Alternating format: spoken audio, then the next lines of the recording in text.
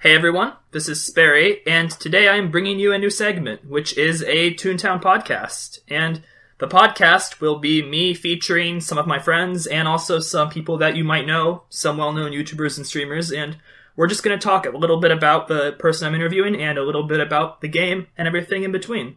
And today, on the very first episode, I'm with a very special guest. Um, his name is CC, um, and his old YouTube channel was Mallow45. Hello, hello. It's good to be here.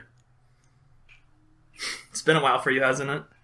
It has been a while. I don't think I've made a video since February. I want to say. Hmm. I actually had a I had a video planned, and then I started doing it, and I kept messing up, and I rage quit Oh. basically. What was your idea for that video? Oh, what was what was my idea? Oh, I think it was the um, it was the next part of uh comparing Toontown rewritten to um like Toontown Online, comparing like the mini changes and whatnot, and then I kind of just like I said, I kept like there was a certain point in the video where I kept just fumbling over my words and I kept rambling and not and kept repeating myself and then I just called it quits for the day. I was like, I was just like, I'm not feeling it today. I'll just do it another day, and I and that day has not come. I Yeah. guess. That makes sense. And I guess that's not really an idea somebody's going to steal because the point of that wasn't really to have an original idea. Your point was to make it better than other people who've tried that idea, right? Yeah, I'm not. I'm not going to name any specific names, but I have seen videos from other well-known YouTubers that try to do that. But I feel like to do that, you need to. Um, your the video needs to be like kind of in depth and a little long-ish.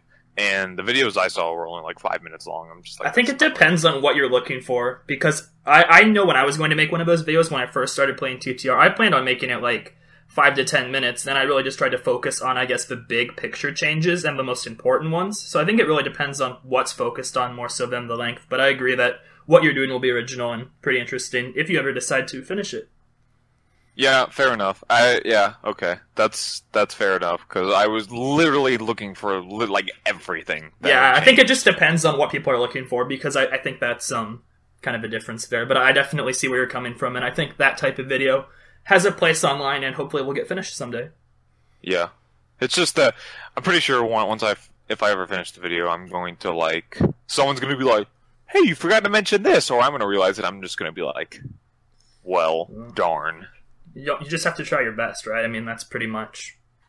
Yep, I have a list. I have a list on Notepad so that whenever I think of something or see something, I'm just like, "Oh yeah, that's a difference," and I'll just jot it down, and Hmm. I will have it in front of me whenever I start making the video. Yeah, sounds good. So, um, I'm was going to ask the audience. I don't think everyone knows probably your entire YouTube background, just because you have been making videos for a long time, and I'm sure that not everyone watching now was watching ten years ago. So, um, would you mind maybe just telling people a little bit about your history on Toontown and on YouTube? Well, Toontown. I remember the first night I started playing Toontown. It was a summer night. It was 2006, and I was just in my parents' bedroom watching TV. And you know, I saw a commercial for Toontown. You, I'm sure you remember the commercial. Oh, yeah. You know, where it start with a real life setting and then be like, "If you think, see, you're ready for Toontown." I remember one of that dude with like the crazy voice as well. Do you remember? Do you know what I'm talking about? I don't. I don't. It was think just, just like a guy. I'm trying to remember what, exactly what it sounded like, but it was just this guy who was like yelling some shit about how it was a game that would never die or something like that. I mean, he wasn't Oh, wrong. talking- Are you talking about the trailer? I think the like the minute long trailer. yeah, that was like- on, that was on TV as well. I never actually saw that one on TV. I didn't see that one until I was on YouTube. But No, Yeah, that, I that was also on TV. okay, well, I, I don't know if it was on every TV. I just remember seeing it as a kid, and I thought the game was fucking retarded at first. no, well, dang. Well, that we we differ there because I actually it was probably I saw the commercials for probably like a year or two before I Mhm. actually started playing the game. And every time I saw the commercial, I was like, dang, I want to play that game. It looks fun. Once I actually downloaded the game, I liked it a lot. I was like mesmerized as a kid. I would just walk around and like absorb myself in the world. But those but those commercials did not do it justice, in my opinion. No, probably not. But yeah, I was the same way. Anyway, like I saw the commercial that night, and I just asked my mom, like, "Mom, go download Toontown on your on your laptop because I don't have my own computer because I was nine years old." Yeah, And I'm sure that was not a gaming it. laptop. No, of course not. It was my mom's work computer, Oh, nice. but it's it was it's just Toontown. I so. can just imagine if it was like a work computer given by an employee. It's like we've seen you've logged a thousand hours on Disney's Toontown Online. thousand hours. Yeah, that would uh, that'd be cause for concern. But Yeah. I played it, and since it was like nine o'clock and I had a bedtime because I was a little kid, I only got to play for a little bit. But like. I uh-huh. was hooked instantly. Remember when? Oh, sorry. Do you remember when I had a bedtime like years after you did? Oh yeah, oh yeah, I remember. Sorry. it was it was a Christmas. It was Christmas break, and like we were doing CFOs or something, and you said my and it was like almost three for me, and you were like, "Oh, my bedtime is like fifteen minutes." I was like, "You have Yeah. a bedtime." I didn't want to cut you off. Sorry.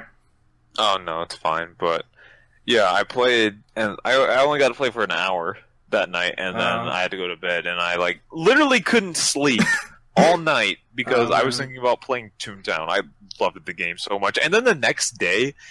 When I woke up, I actually forgot my password, Oh and my I spent like hours trying to remember what it was, and then, and then like I decided to just say screw it, make a new account because I hadn't gotten very Oh. far, and it was I was still it was like I was still on a free trial, so it's not like I'd spent it, any money had been spent Yeah. yet, but and then like in the middle of making the account, I was like, oh, I remember it, I Oh. remember my password, and then I went on. It was Was your first so- toon ever Master Milton? Was that the first It was, toon? You... it was Master Milton. Yeah, my first toon I ever created was Jabber Jabbersocks. So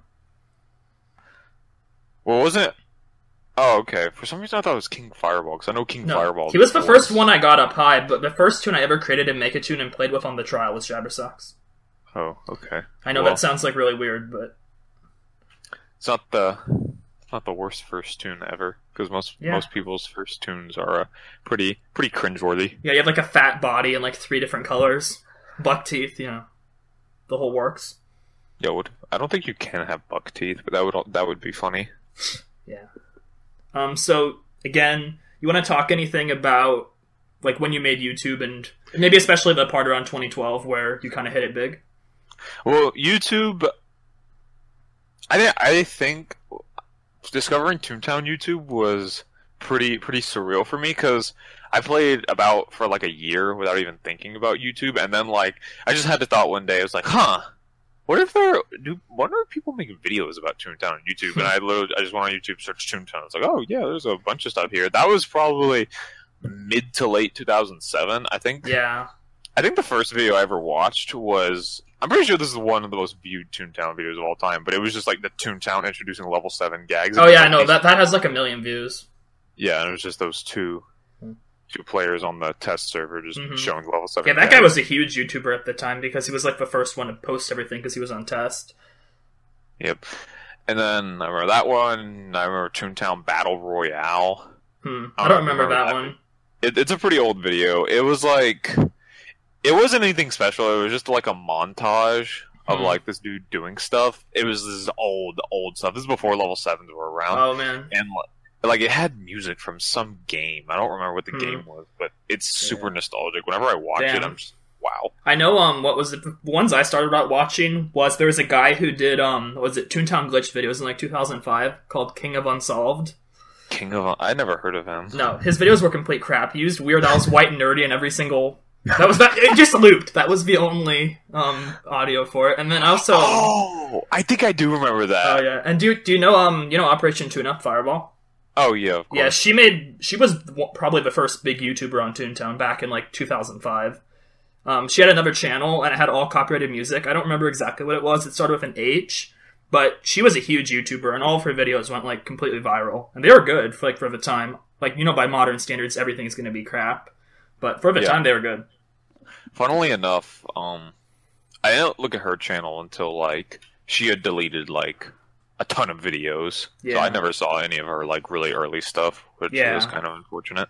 It wasn't. It wouldn't hold up well today, today, but it was just nostalgic and it was innovative for its time. It was like actual video editing attempts done by someone who was young.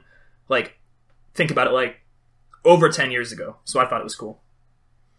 Yeah, and she was probably I, I don't I think she's like around our age or a little younger, but she was obviously like a little kid.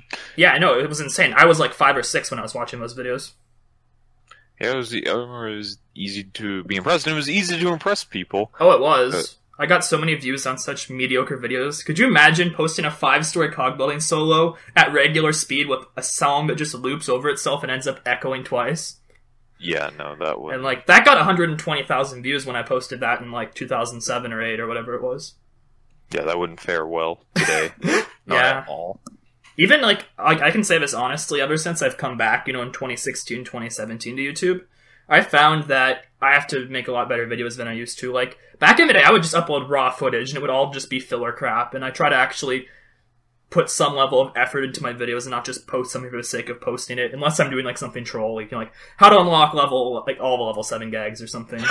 That was so funny. that still has that has 25,000 views and it gets 4,000 views a month by It's one itself. of the greatest baits in Toontown history. Yeah, it's fucking hilarious. Um, so again, I'm just kind of curious.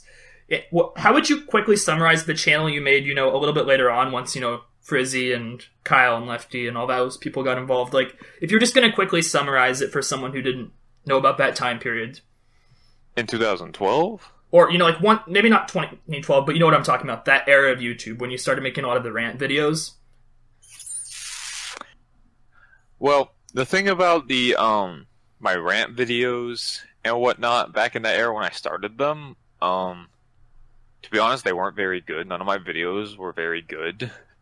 Like looking back on it now. And like like you said, like like you are I think you said something about like filler. Like a lot of my videos that's what they were, filler. I was just like a lot of times I was just like, "Oh, oh, we're doing a VP and uh, I am in a Skype call. Let me just upload this because why not? Oh, it'll man. get it'll get views. And then and then my uh, rant videos were like didn't have any structure or organization to them, and it was basically just me rambling and repeating myself for ten or fifteen minutes. I still do that today, and that still does well on YouTube. Because people just love to kind of just have the background noise. I, that's my theory, at least. Because my most successful videos are usually the ones where I just ramble incoherently about a topic and maybe hit a few good points and also swing and miss a lot. Fair enough. Yeah, yeah. Actually, the, the whole thing about background noise when I used to like avidly quote unquote watch like Toontown rants and stuff, like Frizzy Frizzy's early stuff or like Kyle Lefty stuff, Mhm. I would just hit play and then like go to another tab and just listen to it while I was doing whatever. This might sound like kind of a stretch, I don't know, but I think it's kind of an example of another big YouTube channel that kind of doesn't have, you know, the quality you would expect. But have you ever heard of the YouTuber Leafy's here? Leafy, yes, I have. Okay, don't so I- My, my point being is that I'm not saying that the content's comparable at all, but I'm saying the same idea of background noise because I don't feel like those are the type of videos you would watch just on merit of being amazing, but they're videos you watch for background noise because you at least, you know, somewhat identify with the personality because I don't know how else you'd, you know, you'd sit through a lot of those videos or even like the videos that we made in 2012. Yeah, because it like it doesn't it didn't require all of your attention. Like especially if it was just filler VP CFO stuff, it was just us clowning around. Also, a, no- a side note, um, my videos were really offensive back in the day. We used to like, especially the ones where I was in calls with people. I, we Mhm. used to say whatever. We didn't care who was watching. Mhm. Like saying like racial slurs, like the N word. Like whenever I go back and like watch my videos and like hear me saying, I'm like, oh my god. Yeah, I definitely haven't done anything racist on this channel. Um, I'm not sure if Alex has. I don't think so. I don't think anything I've posted actually had Alex being racist. I'm like 95% sure. But because remember those um ODS episodes never made it up, thank God. But um, but yeah, um, no, I I would say that I say things that aren't you know correct when I get angry. Like I'll say things like I'll call people like retarded or something. But that's probably the most I take it now. I, when I get angry, I try to make it you know just me cursing in general, not you know intentionally being. Actually, I know what the worst thing I ever did was somebody made like 40 bot accounts to dislike my video because they were just like I think they were like mentally ill or something. Like I don't want to judge them actually because I know who it was. And I, I I've actually made peace with them, but at the time I was calling them like autistic and all this crap because I was like, I don't know, I, that stuff just got to me, and that was my own problem. But you know, I think that's probably the worst thing I've done on this channel. But I try to not take it too far anymore. The worst thing I probably ever did was like making random call out videos for no reason. Oh yeah. No, I've avoided that on this channel, thank God. There's no drama anymore in this community. That's another thing. back in 2012, I don't know if all of you remember, but all the YouTubers would like make videos about each other and hate each other, and it would be all like it would literally be like drama alert, I guess. Actually, I would say that like those drama channels that had their little run a couple years ago on YouTube reminded me a lot of the videos we used to make in 2012. Yeah, it was. Oh, look, it's actually so funny to look back on it, but it would be like me versus Frizzy, or like Kyle versus Frizzy, me versus Oh, Kyle, me versus Kyle and Lefty. Yeah, so a tag team. tag team. Uh, yeah. But no, I would say the best part, in fact, I give a lot of the people now who are big a lot of credit for this. Um, I'm friends with like pretty much everyone in this community, you know, like I'm on good terms with everyone. I make controversial videos and a lot of the people don't agree with me. Like I'll give you an example. I'm sure Smirky would not agree with the things I've said about, you know, the TTR team entirely. But yet he still like likes me as a person, even though I put an opinion different than his, and he's always respectful to me. And like I made a video about Mega Snoop, like making fun of his rapping before I even knew him well. And admittedly, it was like pretty self-deprecating as well. Like I didn't make it like in an offensive way, but his reaction to that video was not to just like be offended by it. He just laughed it off, and he had a good time, and that's actually kind of how I got to meet him. So I think that's a pretty big shift in the way the YouTubers are now, and it's a good shift. Yeah, no one takes themselves too seriously. hmm Like I remember when the video's not there anymore. I don't know. I don't know why. But Frizzy made a video about termination, and he mentioned Kyle.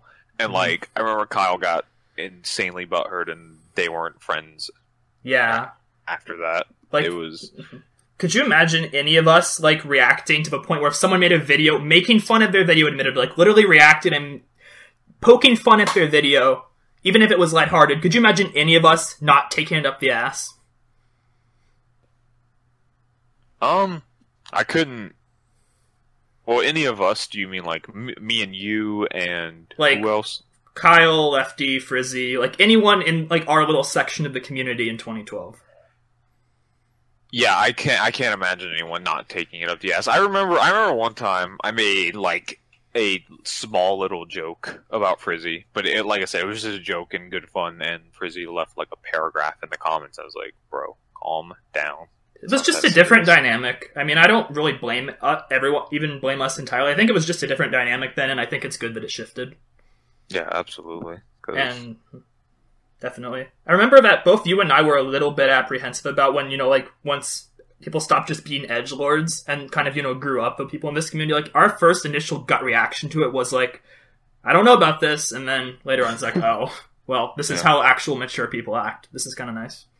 Yeah, I mean, we were all like, well, Frizzy, Frizzy was wait was like we were a bit older 14 give us a little bit of a break. I mean come on. Could you imagine if you like had all of your personal fucking drama put onto the fucking internet when you were 14 years old for like thousands of people to watch Yeah. Well, I wasn't quite that young, but I was like between 15 and 17. That's how like young all Kyle and Lefty were. Um, Frizzy Frizzy doesn't really have an excuse because he was an adult. But he also, I'll be fair, did not get involved as much with the personal stuff. He would use examples of his friends, but like he didn't. I would say at least on YouTube, if we're just talking about the videos themselves, his most of his videos were not about drama.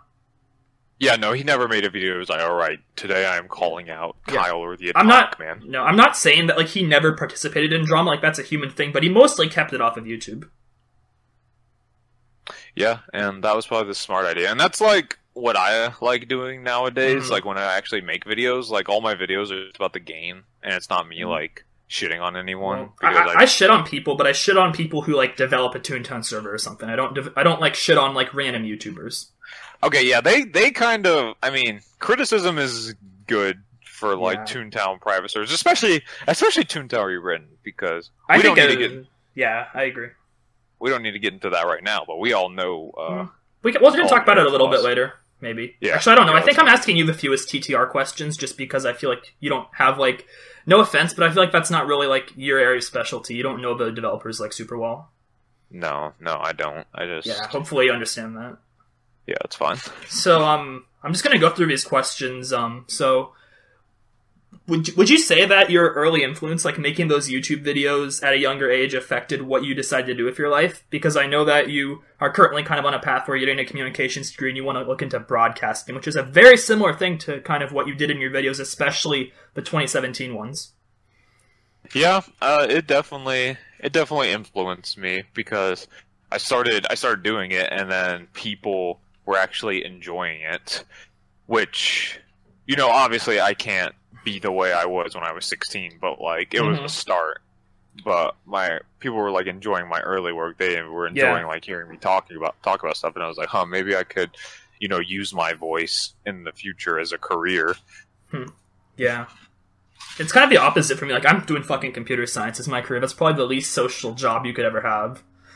And in general, I'm not a really social person outside of YouTube. Like, I talk and make the videos. And I think that's a good thing for me because I'm not someone who spends a lot of time, you know, being super extroverted or anything like that, but I connected with people in a pretty social way online. So that at least it's kind of a nice thing to have in my life, I would say.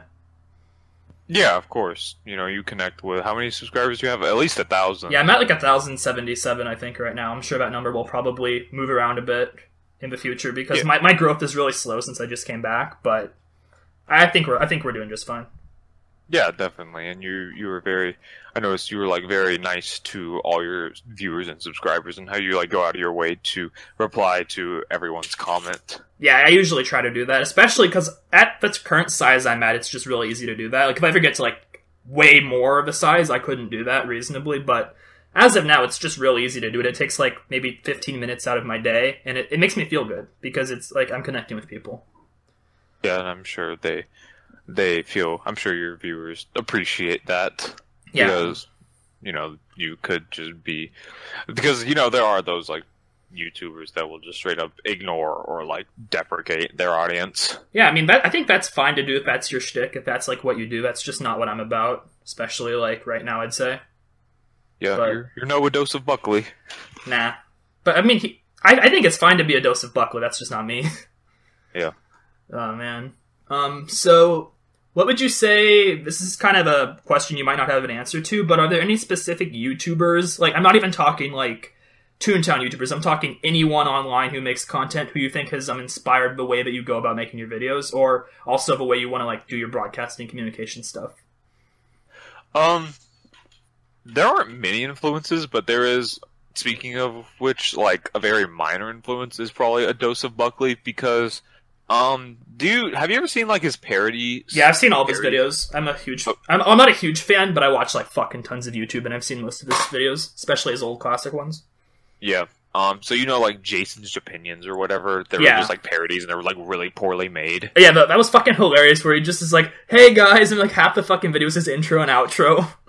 Yeah, and like, and then I think he also made another like serious video explaining Yeah. like what to do and what not to do if you're gonna make like a commentary video or whatever. And like, I took some of that to heart because I was like, yeah, uh. Mhm.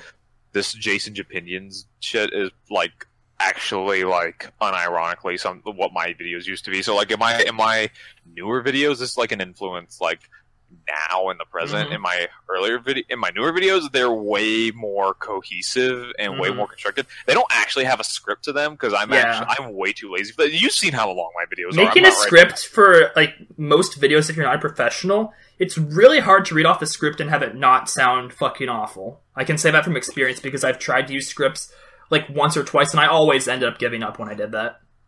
Yeah. So I didn't like I didn't follow Buckley's advice like all the way, but I did Mhm. like make it I at least had an outline. I had an outline of stuff I was gonna talk about. So one, I didn't forget anything, and two, I knew what topic to move on to like Yeah. immediately instead of being like, um oh no, Yeah. I forgot what to talk about. I, I guess you could kind of say that's what we're doing now because I have a list of questions I'm asking you, and I'm, we're just kind of talking in between. It also helps that we've known each other for like over ten years. You know that makes it a little easier to just have a nice casual conversation. But yes it does. Yes it does. I, mean, I, I would definitely agree that um, Buckley's actually definitely a really good YouTuber to take that type of advice from, just because he's an audio specialist. I mean, you'd, you'd expect that he would have some good advice. Yeah, and don't So want to be another Jason's opinions. that's true. I think it's okay to be a Jason's opinions when you're 14, though. Again, Oh yeah, that's that's fine, but um, yeah. When once you reach like the 18 year old mark, that's when it's a little bit cringy. yeah. So, um, I I'm actually a little bit curious, even for you at this point in your life. Um, I know that both you and I were very heavily involved with online friends. It's like a huge part of our lives back in the 2012 days. Like that was a huge part of what we spent our days doing, you know, talking to them. That was like our social life was talking to people on the internet quite heavily in those years. Um, how many of those people are you still in contact with on a regular basis and how many hours a week would you say you spent talking to your like online friends that you've met from Toontown in particular? Um, I'm not in contact with like regular. By regular contact, do you mean like talking every day or like? no, talking- like I would say like once a week or once a month even is pretty regular contact if it's consistent. Like you and I, we don't talk that many hours, but when we do talk, it doesn't feel weird and like we, we still talk pretty consistently even if it's not a lot of hours. You know what I'm saying? okay. Like, do you have Yeah. that type of like friendship with a lot of people still from back in the day? I don't want to say a, I can't really say a lot because I used to have like as you know because Mhm. like you you were there. I used to have a ton of friends Oh, yeah. that I Yeah, talked I to every day. You know, Yeah, that was the fucking way it was in 2012. And that was pretty fun in a way. Like Yeah. I know it was like people think it's fucking weird, but I, I think I think it was. I don't think it was that weird actually. It was just a way of socializing. Yeah, but um, there are still a few people I am in regular contact with. Like to name a few, there's you, of course. There's Connor. There's Chris too. Mhm. Um, those are oh Alex, of course. yeah, no, that's good. Yeah. Alex is going to be on episode two. He thinks he's on episode one, but I'm not going to tell him. He'll just find out if he actually checks my YouTube channel. Oh, why why does he want to be on episode one so Oh, badly? I don't know, because Alex just does that shit, you know, where he just like wants something and he just decides to go for it Yeah, just for the sake sorry, of it. Yeah, but um, Alex. No, I actually prepared a series of questions for Alex that are a little bit less serious that he can have fun with. So I think it'll be a good time.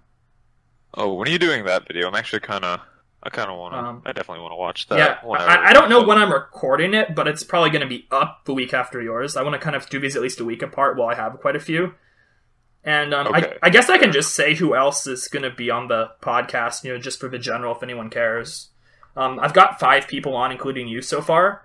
Um, I got you, I got Alex, and then I got um, Mega Snoop, Smirky, and Gag Strategists. Those are the first Oh five. wow, you got the, you got the big guns See, coming through. it seems like I went for like the people who are like the biggest YouTubers, but those are actually like the people I know the best in this community. Like I watch Mega Snoop stream pretty often and Smirky stream, and then Gag is often in those chats, so I got to know him a bit too.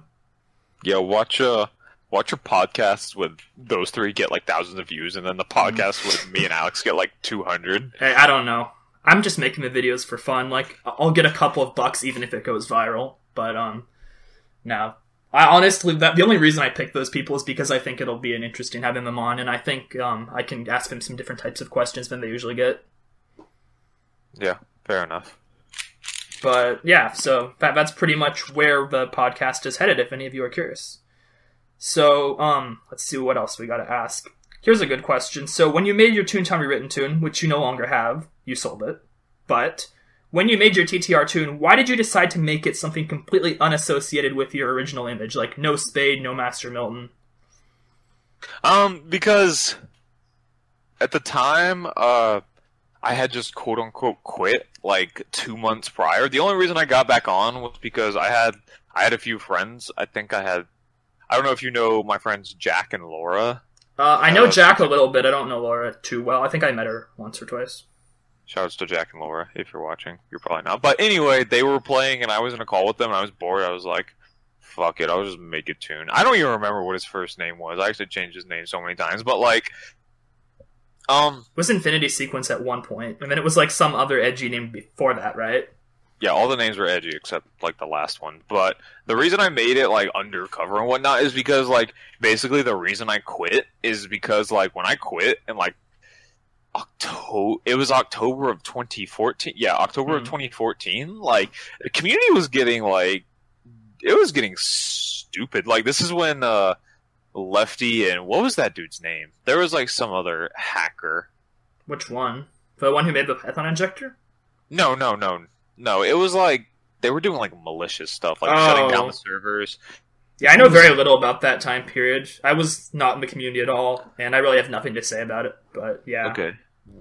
Oh, it was Maverick. That's who it was. Lefty Oh and yeah, okay. Was that the same Yeah. Maverick who tried to um what was it, swat Alex? I wouldn't be surprised. I don't think honest. so though. I don't think it was. I think that was just a duck, um, who he got terminated by giving him the fake back nine buttons.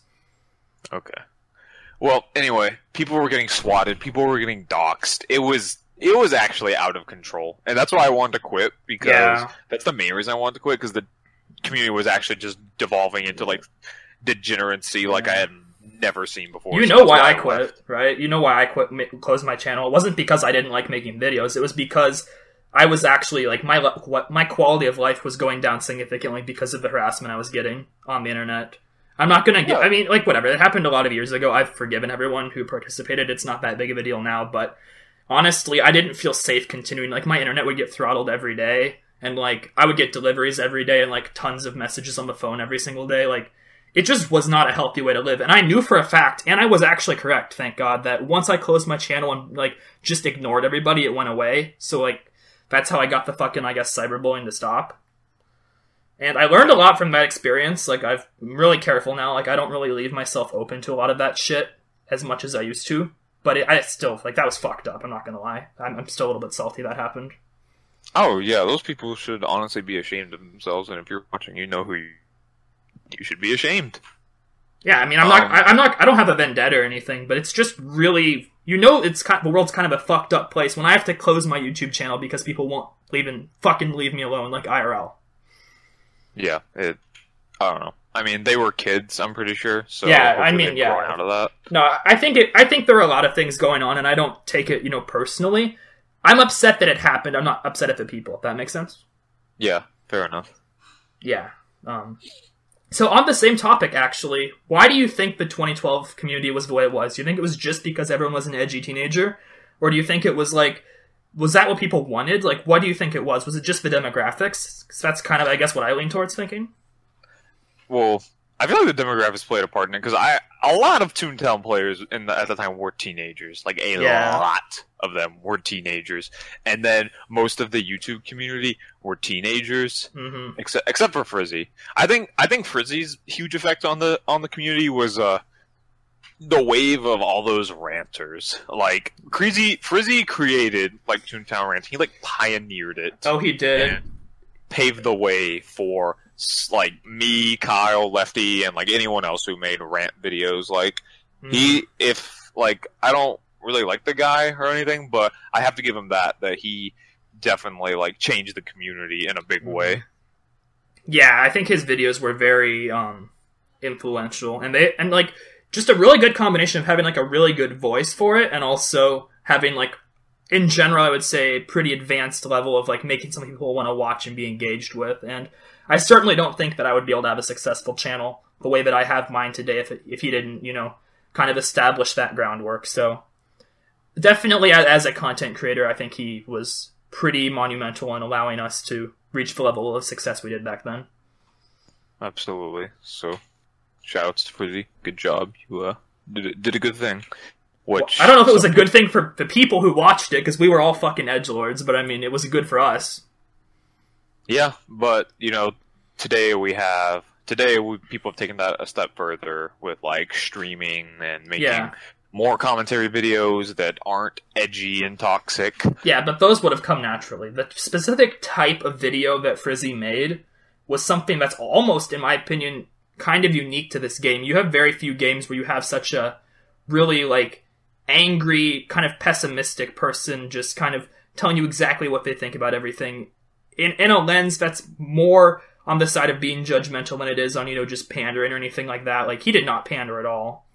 No, that man did not give a single fuck about what anyone thought. He was just like he. It was basically just I'm just going to talk and record. I'm just going to record me talking and I'm going to upload it and uh, fuck it. Yeah, it worked though, and that's honestly, like I said, I borrow heavily from his format today. I, I'm not in denial about that, and I think his his groundwork certainly helped a lot. I to, I guess, be more funny and like be a little bit more like random and entertaining alongside it, as opposed to you know just being having the humor come from the fact that a guy's getting upset. But um, yeah, definitely some pretty crazy stuff. And now here here's an actual question for you. This might be a hard one to just answer with a yes or no, but overall, do you think the Toontown YouTube community is better off now, or was it better back in the quote unquote glory days of 2012?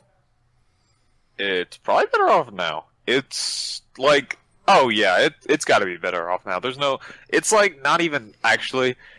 you'll have to correct me if I'm wrong because I don't actually like keep up with Toontown YouTube, but like I know a bit about it, so there's like it doesn't look like it's like toxic at all. it's anymore. not. Like yeah, so I'm the most toxic one on here, to give you an idea. Like, I am so toxic that many people in the community find me repulsive, and I'm probably the most neutered, watered down version of a 2012 YouTuber today. yeah. These if these people are offended by you, they wouldn't. uh I don't know what Mhm. they would have done. Well, I wouldn't really say they're offended by me. I'd say that I'm just a little bit too intense and edgy for their taste, which is completely reasonable if that makes sense. Like, I don't think people take what I'm saying personally. I think they just don't. It's not their cup of tea. They prefer to have someone who's a little bit more wholesome as opposed to someone who just gets angry and is like a pessimist about everything, which I kind of admittedly am. Yeah, because I mean, Gat the th- the big three, uh, which is probably like Gag Strategy, Mega Snoop, Smirky. You know, they they're all like you know just super positive dudes during their stream. Just you know, it's Mm, It just happy depends. I'd say Smirky's the most positive of them. Mega Snoop Aaron's not always positive actually. Like I don't know. He's I would say that maybe like that's his reputation, but I don't know. The guy's the guy's pretty real actually, in my opinion. Well, like I said, Especially don't- right now while all the fucking like lag is going on. There Oh, are some lag. salty people in the community right now because a lot of people like can't even play the game properly because of the TTR lag right now. I didn't realize that because for me it's not that bad right now.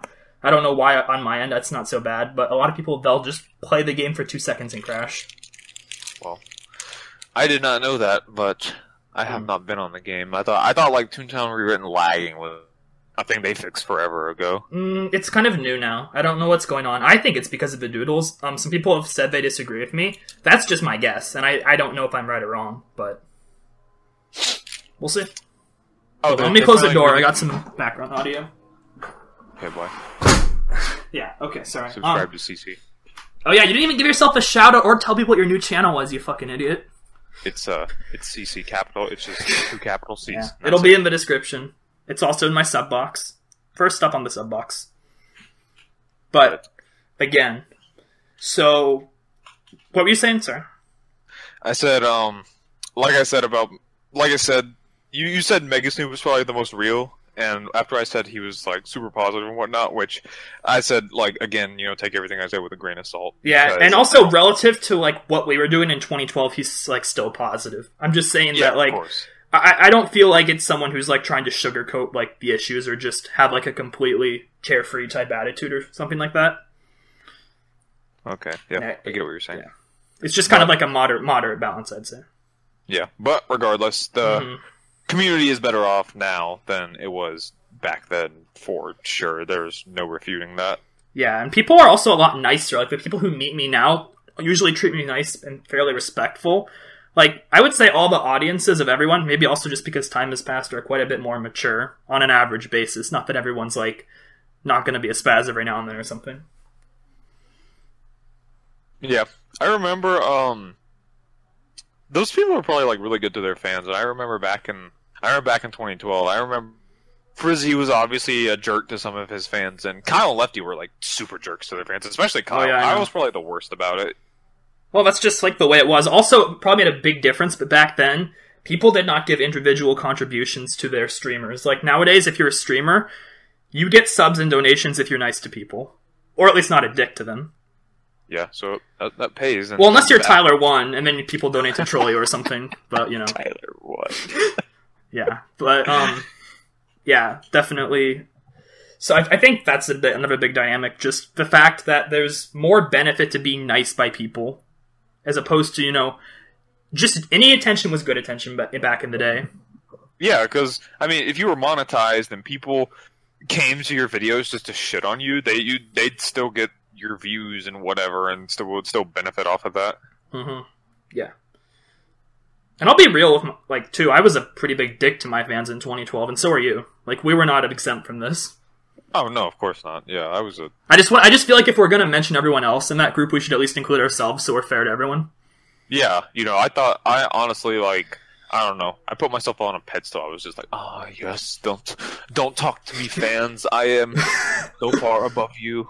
Oh, like whenever someone would like recognize me on the game, oh I love you guys. I'd just be like, oh my god, so annoying. Oh, yeah? Don't, don't talk. I'm actually really happy and like excited when people recognize my videos now. It makes me feel like I have like a fucking purpose. It's weird, but I don't know. Back in the day, I was not as nice though. I won't lie about that. and I was not as grateful. I think it's important to be grateful if you have people who actually enjoy watching you on a regular basis because that's a pretty cool thing. Yep. I So- was not grateful or nice. Here is a pretty significant detour in the conversation. Um, there is a video game that you are currently playing that you are quite good at as compared to the rest of the world, and you make some money playing it. Um, what game is that? Um, what character do you play in that game, and how did you get started with that? Well, the game I play is Super Smash Bros. for the Wii U or Smash 4 for short. Um, I play Sonic the Hedgehog. That is my main. I also secondary Sheik, but I play mainly Sonic. And um, I got it. I, I've always played Smash, like uh, 64 Melee Brawl, but like I was like super casual with it, mostly because I was like a little kid, and I got into it like competitively in 2014 because there's this thing called the Melee documentary, and it's like I don't remember how many parts it was. It might be like nine or it's like around nine or ten parts, all like around 30 to 45 minutes, if I'm not mistaken. And it's the documentary is basically like um chronicling like or telling about like each episode is about like one of the like Melee's greatest players in history. Super Smash Brothers Melee that is, and it like just went super in depth about like the competitive community as a whole. And like it made me want to get into competitive smash. It actually did that for a lot of people. Like the around the time it came out a lot of people watched the melee documentary. And like ever since then smash in general like melee and smash 4 which are like the two main games right now because smash 64 and brawl don't really get a lot of attention anymore.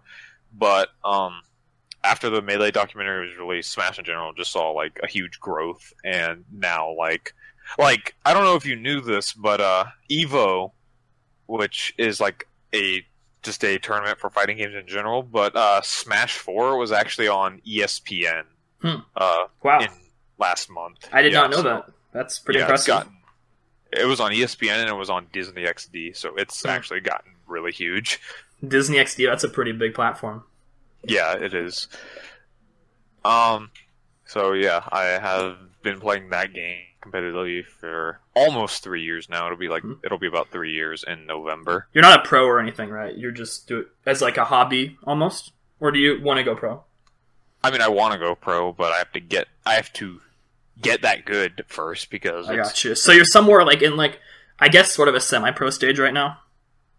well, I guess. I mean, I'm a, I'm like a solid player. Like, um, there was an event I went to called DreamHack Atlanta last month, and it, there were almost 400 entrants, and it was considered an S tier event, which basically meant it was just a stacked event, Mhm. and I made it into. I made it out of pools into the top 64 bracket, so. Um, yeah, it's pretty good. yeah, so like I'm I'm definitely decent at the game, and like compared to like everyone everyone else in the world, or like just your casual player, like if they saw me play, they would think I was like a god at this game. Yeah, that but makes sense. relative to relative to the competitive scene as a whole, I'm I'm decent at the game. Gotcha. Okay, makes sense. Um, have you ever considered making any videos, you know, talking about tournament smash or showing gameplay or anything like that? I mean, I'm sure there's a demographic for that out there. Yes, but I don't I don't know. It would be really hard Yeah. and where I am now to get views for that because I'm not a top player and Mhm.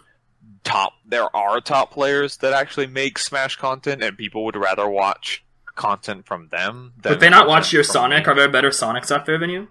oh of course there are plenty of better sonics I mean, like, are there like better Sonics that create shit though? let me think Because if there's not, you probably have a demographic. oh there is there is actually um probably the most notable uh youtuber that that plays sonic and is definitely better than me is probably uh supergirl kells she makes a lot of youtube videos but other than that i can't really think of anyone Hmm. right Yeah, now you might have a you might have a niche then. You'd have to pretty much start over though, because you're not going to have Toontown fans watch that. Oh no, absolutely not. I would definitely have to. I would be on the grind for Yeah. a while before I could, um, you know, get people to watch me. Your your your gamer tag in Smash is CC though, right? Yeah, I was just like, I came up with that just because, like, I wanted something cool, but I didn't want it to be like super edgy. So I was like, I was like, well, CC's my initials, and CC sound it has a good ring to it. I'll just be CC. Should have gone with Infinity Sequence. Yeah, no. I, uh, fun fact: I actually entered my first tournament ever as Infinity Sequence. Oh gosh. Yeah, it's, it was it was pretty funny. Oh, that was man. after that. I was just CC though. Gotcha. Um, so again, sort of another misdirection, but um, you've played a little bit of ODS, right? And a small amount of Altis. Yeah, I played I played ODS. Um, well, yeah, we both played ODS quite a bit when it first came Yeah. out, and I have played some Altis. So, um, my question to you is: Do you think that the private servers who are kind of going in the direction of improving the game, trying to add new exciting stuff, and get away from the traditional, more nostalgic format, do you think those games have value to them and are they worth playing, or is Toontown just such an outdated, antiquated format that there's not much value in investing the resources into them?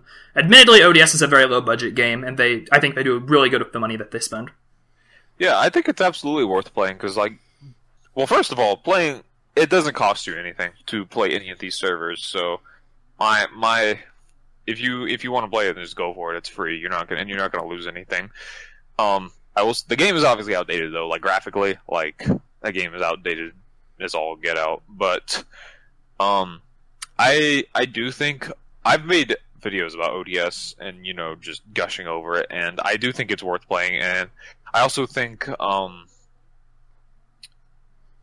what is oh yeah Altis. I I think they're both worth playing in their own right. It's just the main problem is they're it doesn't look like they're ever going to get as much attention as rewritten for whatever reason because ODS's player base is pretty pitiful like to be honest. Like the worst part about that game is easily its player base. Altis isn't as bad. Altis when I the few times I have played it um it did have a few hundred people on there and that's not that's okay that's not nearly as bad as ODS but neither of them both of them combined as far as player base can't really compare to TTR like it's not even close All right, so I'm glad you're here because I have kind of a different opinion. I don't think either of the games are worth playing to most people in the community. What I mean by that is, I don't think that the games are worth playing if you haven't already put like a couple hundred hours at least into some version of the original Toontown, either TTO or TTR, because I feel like they're games that you use if you want to extend to maybe like kind of almost a sequel to the original game. And you have to also be kind of willing to suspend your disbelief of nostalgia because a lot of the features that those games add, at least from my own perspective, kind of take you out of the nostalgia factor. When I was, especially when I was playing Project Altis, I felt like I had a headache and I felt like I was playing nothing that resembled the original game besides the grindy parts I didn't like. So maybe that's just me. Maybe it's because I have more of an attachment to the world than I do to the actual grinding process, but I'm not completely sold on the idea that these games will ever become popular just because I don't think they appeal to enough types of people. And I think that in some ways, by improving the game, you're making it worse because you just make it something that is almost unrecognizable from your childhood. okay well fair enough Just our opinions, though. Yeah, I, I mean the nostalgia thing. Uh, it did kind of. What's the word I'm looking for? It definitely drove me to play the game for quite a while, but I'm I don't know. For me personally, I'm so disinterested in Toontown Rewritten right now. Like it's like I like I told you, I, I sold my toon and I don't even feel sorry or regretful about it. So that's why uh, ODS and Altis just seemed interesting to me. There was I was just like, oh well, here's you know something new and interesting. I guess it all depends on it all depends on like who you are and what you want from Toontown. Because if you are someone that wants the comfort of a recognizable game, then yeah, TTR is fine for you. But like, uh, I don't know, like I w- I am beyond sick of TTR, and I and like some of my friends are beyond sick Yeah. of TTR. Like my friend Chris too. Um, he is. We we played some of Altis together. We actually played um six. I think it was like six or seven months ago when it actually came out, Hmm. and then we like played for like a few days, and then we were like, and then we stopped because we found out our toons were going to get reset, and it was like, Wow. oh, I made it about 30 minutes on Altis before I hated it, and I was playing with three people who I really enjoyed their company, and we all just got so sick of it within 30 minutes, and that's just my perspective. I'm hoping that um, this was again same time period you were talking about. We didn't actually care, about the reset; we were just playing for fun. But we made it like 30 minutes. It was myself, um, Tommy, and Lalo. I don't know if you know them. Tommy and Lalo. Mm-hmm. Oh yeah, I know Lalo. Yeah. Yeah, Tommy and Lalo, and um, I was also playing with Alex. And yeah, Oh, we, I, we, I know Alex hates it. I know Alex fucking Well, hates it. Yeah.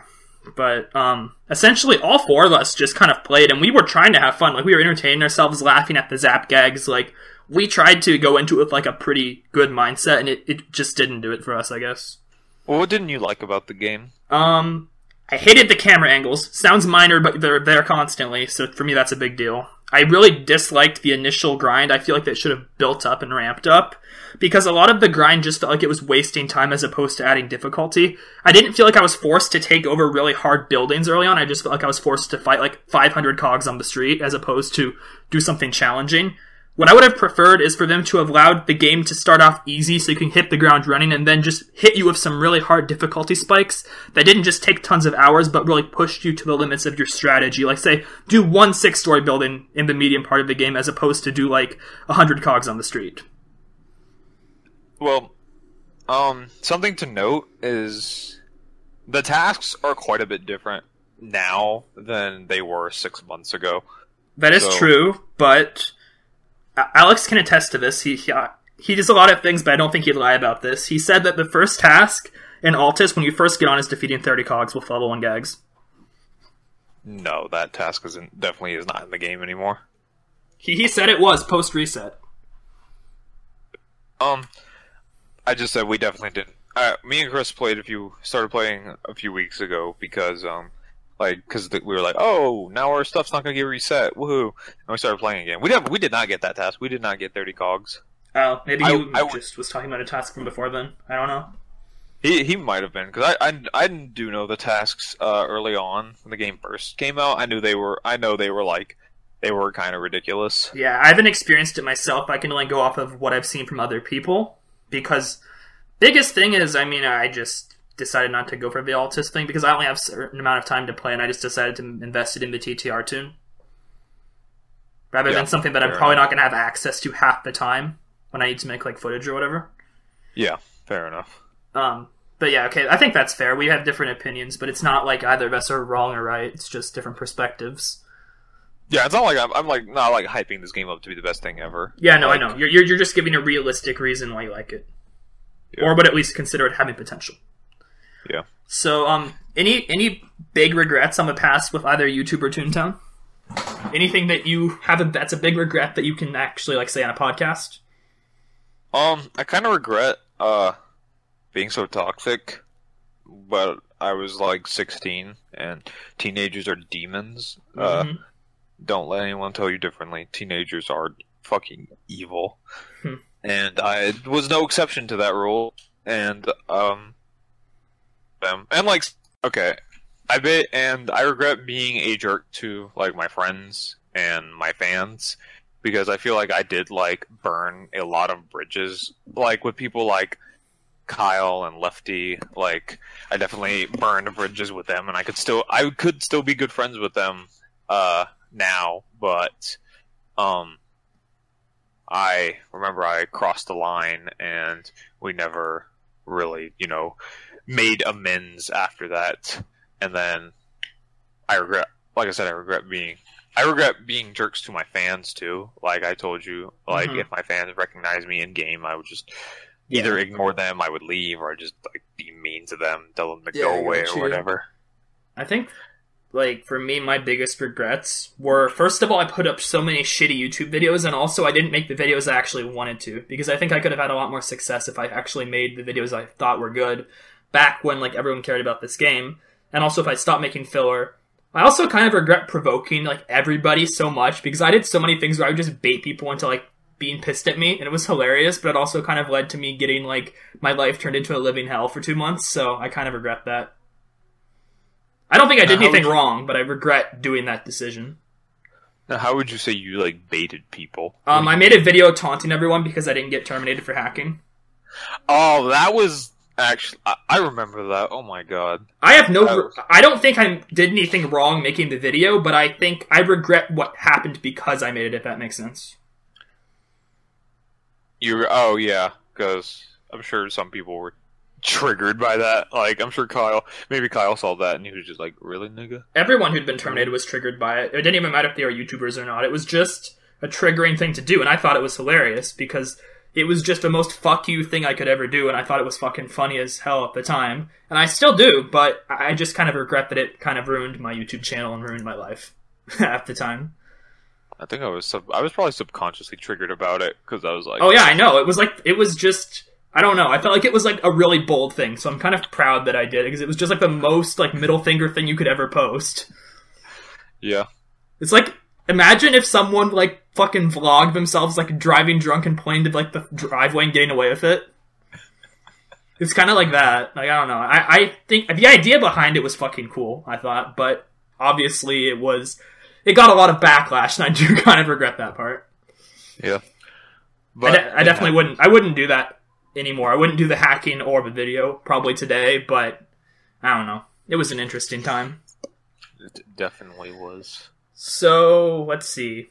A couple more questions. How much money did you actually make from the whole time when you were monetized? Because I know you had a little trouble with that at one point, but I was just curious. Like, how much did you actually end up hauling in total between? Well, I guess let's just say in the time on Mallow Forty Five, how much money have you made from that channel lifetime? Zero dollars and zero cents. I never actually got a check.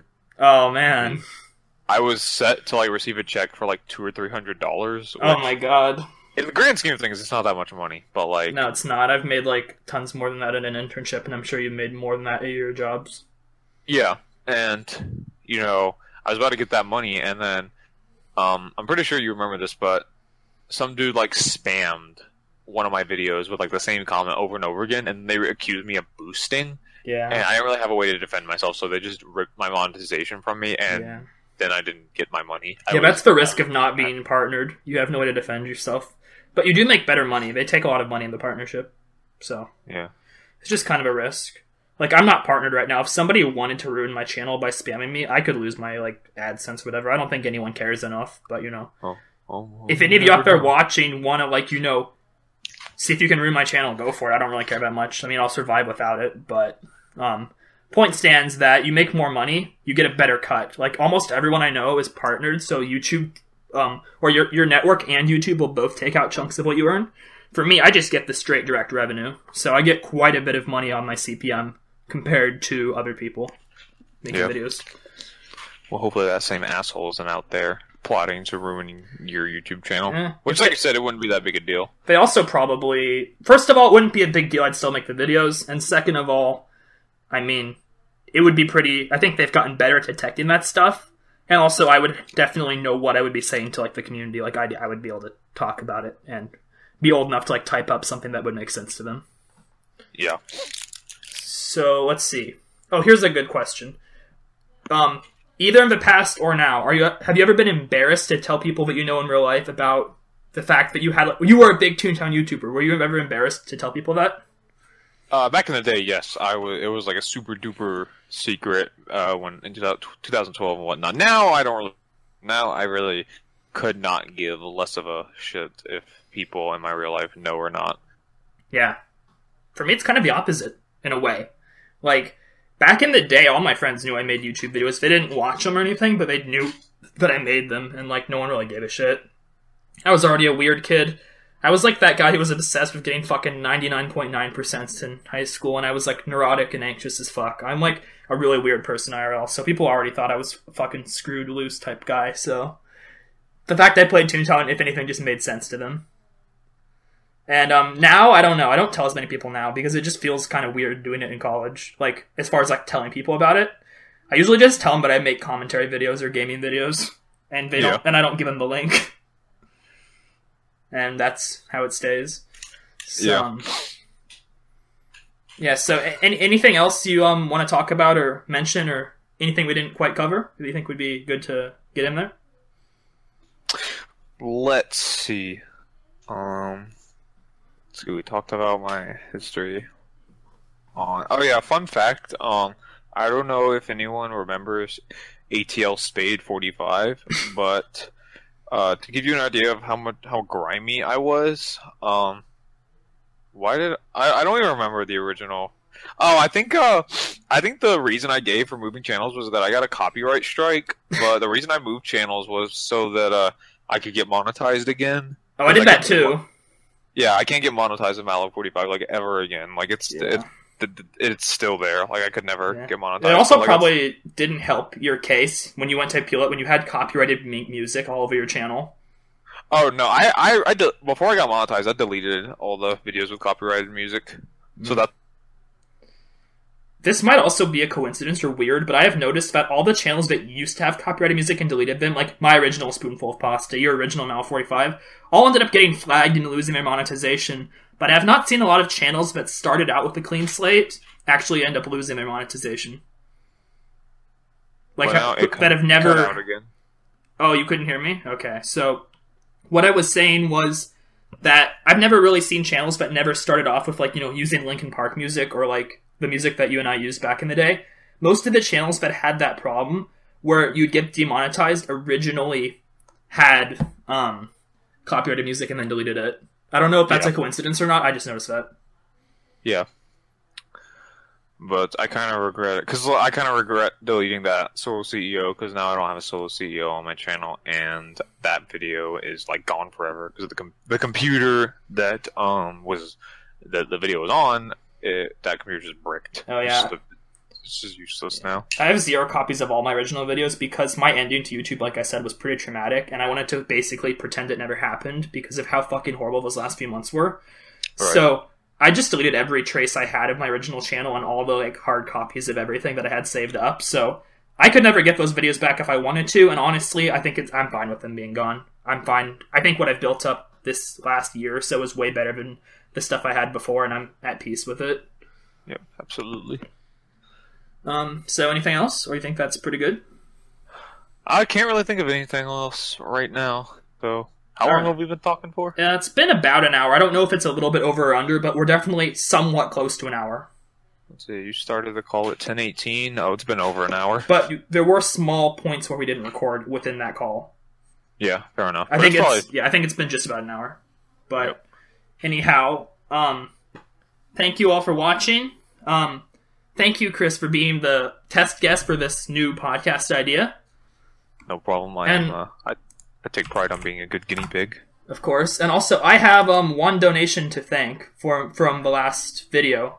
So again, I'm just going to be doing these at the end. If you want to be featured, links in the description. One generous soul gave me seven dollars and fifty cents. Um, donor name Andrew, and he said, "I like your YouTube content. I hope you find a use for this. Keep making videos, dude." Smiley face. Um, thank you very much, Andrew. I will try to use your money responsibly, and I appreciate your support. I think that'll do it for this video, and I'll see you guys in the next one. And I'll try to make these podcasts at least once a week. Um, goodbye, everyone. Goodbye.